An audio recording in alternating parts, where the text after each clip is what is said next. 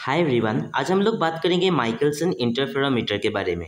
देखिए, पहले इसका प्रिंसिपल देखेंगे कंस्ट्रक्शन देखेंगे, फिर इसकी वर्किंग भी हम लोग देखने वाले हैं।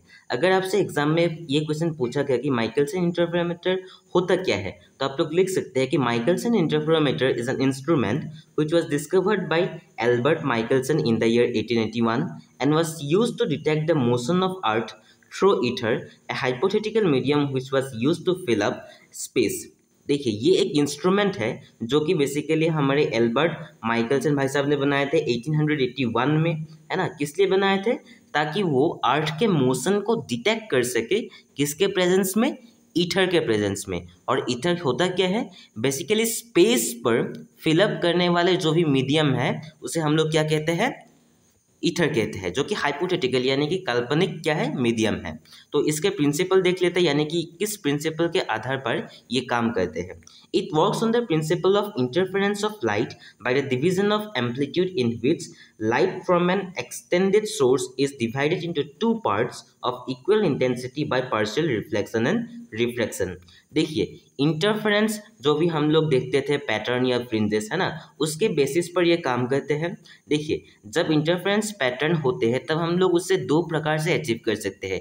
एक डिवीज़न ऑफ़ एम्पलीट्यूड और दूसरा डिवीज़न ऑफ़ वेव फ्रंट तो यहाँ पर डिवीज़न ऑफ़ एम्पलीट्यूड वाले प्रिंसिपल अप्लाई होते हैं, जिसमें एक वेव का एम्पलीट्यूड दो तरीके से डिवाइड कर देते हैं हम लोग। जिसमें से एक को हम लोग रिफ्लेक्शन के ज़रिए डिवाइड कर देते हैं और दूसरा को हम लोग रिफ्लेक्शन के ज़रिए डिवाइड कर देते हैं। और दोनों की जो इंटेंसिटी है है ना, जिस ब्राइटनेस से वो आगे जाएँगे, वो दोनों बराबर होंगे, है ना इंटेंसिटी बराबर है। तो इस इंस्ट्रूमेंट को बनाने के लिए हम लोग जो पार्ट्स यूज़ किए हैं, वो क्या है, देख लेते हैं, है ना फाइव पार्ट्स होते हैं जो पहला है two plane glass plates G one and G two यानी कि दो ग्लास प्लेट्स लेंगे हम लोग जी वन और जी टू और दो highly polished fronts silver plane mirror यानी कि एम वन और एम टू दो प्लेन मिरर्स हम लोग लेंगे, और तीसरा लेंगे लेवलिंग स्क्रूज यानी कुछ स्क्रूज लेंगे, ताकि हम लोग के जो पास जो मिरर्स है, उसे हम लोग अच्छी तरीके से इंक्लाइन कर सके या उसके पोजीशन को बदल सके, है ना? तो यहाँ पर देखिए, एक सोर्स ऑफ़ लाइट को भी हम लोग को यूज़ करना पड़ेगा, जो कि एस मान लेते हैं हम लोग, है ना? हम लोग कंस्ट्रक्शन की ओर चलते हैं, यानी कि उसे किस प्रकार से हम लोग को मेंटेन करना पड़ेगा? देखिए, अब कंस्ट्रक्शन की ओर चलते हैं तो कंस्ट्रक्शन में आप लोग को डायग्राम बनाना पड़ेगा, है ना? तो पहले देख लेते यहाँ पर एक सोर्स एस है, यहाँ पर एक सोर्स एस है, जो कि यहाँ से क्या अगर पॉइंट सोर्स होते हैं तो उसका जो रेज होता है, वो हमेशा एक पॉइंट से डाइवर्स होकर निकलता है ना? तो उसे पैरेलल करने के लिए हम लोगों ने क्या किया? एक लेंस को सामने रख दी, रख दिया, है ना? ताकि ये जो रेज है, वो पैरेलली आगे जा सके, है ना? आगे जाने के बाद यहाँ पर क्या है? दो ग्लास प्लेट्स को हम लोगों ने रख दिया जी वन और जी इसका नाम तो normal G one glass plate है और इसका नाम क्या है पता है? कॉम्पेंसेटिक ग्लास प्लेट है। ये इसका नाम ऐसे क्यों पड़ा? मैं आगे आपको आपको बताने वाला हूँ, है ना? तो यहाँ पर एक मिरर मैंने यहाँ पर लगा दिया है, जो कि मूवेबल है। यानी कि इस मिरर को हम लोग स्क्रूज के साथ क्या कर सकते हैं? एक स्केल पर ऐसे मूव कर सकते हैं, है ना? और इसको मूव करने की ज़रूरत क्यों पड़ती है? ताकि हम लोग क्या करें, जो फ्रिंजेस हम लोग को दिखाई पड़ेगा या इंटरफ्रेंस पैटर्न जो हम लोग को टेलीस्कोप पर दिखाई पड़ेगा, उसको डिस्टिंक्ट करने के लिए हम लोग इसे यूज़ करते हैं। और दूसरा जो मिरर है, वो है ये एम है ना? जो कि फिक्स्ड है, यानी कि ये मिरर मूव नहीं करेंगे, है ना? तो हम लोग क्या करते हैं, इस लाइट रेस को पहले यहाँ से यहाँ तक लाए। अब इस ग्लास प्लेट पर क्या होगा? पहले थोड़ा सा रिफ्लेक्ट होंगे और दूसरा रिफ्लेक्शन होंगे, है ना? देखिए, पहले यहाँ से यहाँ तक अंदर आए, फिर थोड़ा यहाँ से रिफ्लेक्ट कर दिए और थोड़ा यहाँ से रिफ्लेक्ट या ट्रांसमिट कर दिए, है ना?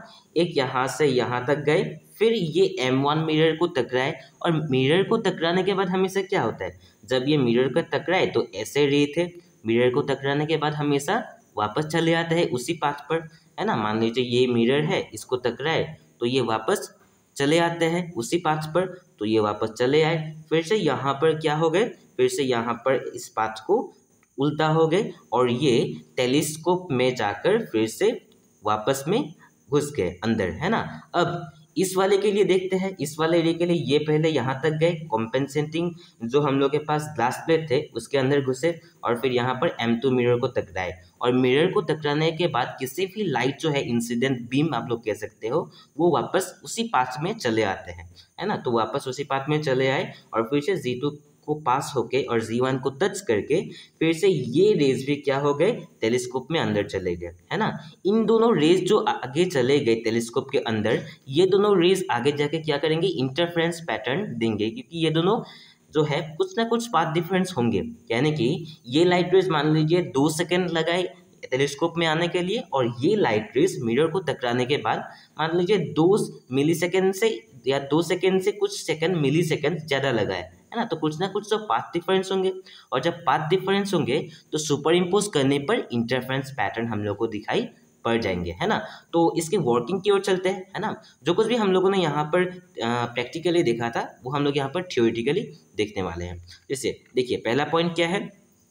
Plane G one divides incident line into two parts reflected and transmitted यानी कि ये जो ग्लास प्लेट आप लोग को दिखाई पड़ रहा है जी वन ये क्या क्या दो पार्ट्स में इंसिडेंट लाइट को डिवाइड कर दिया, एक को रिफ्लेक्टेड और दूसरा क्या है? ट्रांसमिटेड है ना? अब दूसरा को देखिए the reflected beam falls on mirror M two normally यानी कि जो रिफ्लेक्टेड बीम है, वो एम वन मिरर को नॉर्मली यानी कि परपेंडिकुलरली टच होके, यहाँ पर फिर से रिफ्लेक्ट होके जीवान के पास आए, फिर से टेलीस्कोप में घुस गए। इसे हम लोग कैसे लिखेंगे? The reflected beam falls on mirror M two normally gets reflected back देखिए यहाँ पर ये क्या है? इसे हम लोग एम टू मान लेते हैं, है ना? लिखने के टाइम के लिए और इसे हम लोग एम वन मान लेते हैं, ताकि लिखते समय हम लोग के पास कोई भी कन्फ्यूज़न ना हो। यहाँ पर ये जो रिफ्लेक्टेड बीम है, ये एम टू को टकराए, फिर से वापस चले आए और फिर अंदर टेलीस्कोप में चले गए।